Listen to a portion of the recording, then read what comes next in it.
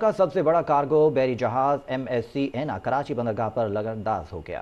तहसील जानते हैं मोहम्मद जुबैरुद्दीन से।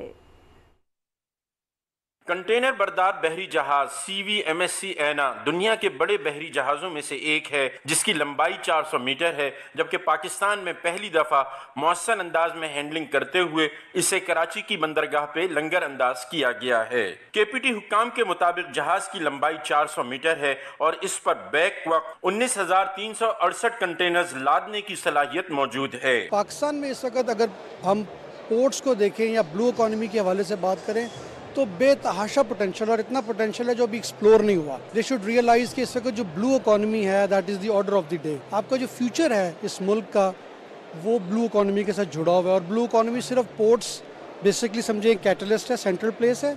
उसके जितने भी लाइट सेक्टर्स हैं और जितनी भी लाइट एक्टिविटीज़ हैं, वो सारी इसके अंदर इनकम्पास होती हैं। बंदरगाह आमद पर केपीटी पायलट ने रेयर एडमिरल रिजवान अहमद की सरबराही में जहाज़ की बर्थिंग की और जहाज़ से कंटेनर्स उतारने का अमल शुरू कर दिया गया है। पोर्ट एंड शिपिंग के माहरीन का कहना है कि इन बड़े बहरी जहाजों की आमद से शिपिंग की लागत को कम करने में मदद मिलेगी, जबकि इस तरह की सरगर्मियों से बंदरगाह की तिजारत में भी खातिर खा इजाफा होगा। बड़े बहरी जहाजों की आमदोरफ्त में इजाफा मौजूदा हुकूमत की तिजारत दोस्ती की अक्कासी है, जबकि इससे आलमी तजारत में पाकिस्तान के मुकाम में इजाफे के साथ साथ मुल्क की माशी तरक्की में भी टर्मिनल्स और बंदरगाहों का किरदार मजीद बढ़ जाएगा।